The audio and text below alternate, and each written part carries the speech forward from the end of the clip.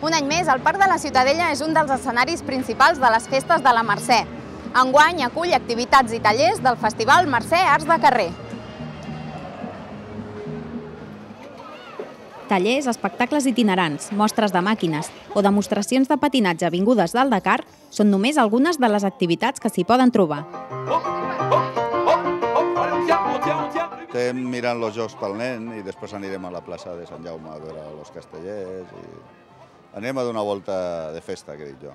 Hem vingut ara de la plaça Sant Jaume de veure els gegants que estaven ballant i bueno, ara mirarem la programació, aviam què veiem. Però la Mercè es reparteix per tot Barcelona. Un altre dels espais estrella és la plaça de Catalunya, que acull la mostra d'associacions. Primer hem passat per la de l'avantguàrdia, però estaven pintant els nens. Després he anat a l'entitat del càncer, a la del voluntariat, a la d'associacions de veïns, bueno, a totes.